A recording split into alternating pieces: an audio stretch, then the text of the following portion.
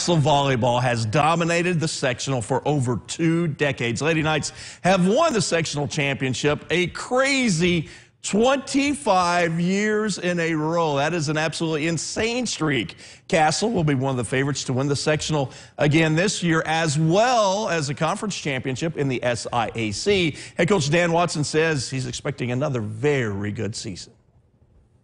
I think it's just that's Castle. You know, that's that's the tradition. We we expect to, to compete at a high level. What people don't really, I think, get to see is how hard we really work. You know, these kids, yes, they're talented, but talent only gets you so far. A lot of people think that we're going to be a different, have a different dynamic without Jessica, but I think we're just kind of bringing out our teamwork more and more this year. We're, we're really working together and communicating a lot and focusing day by day to get better as a team. Castle will be at Harrison tomorrow night.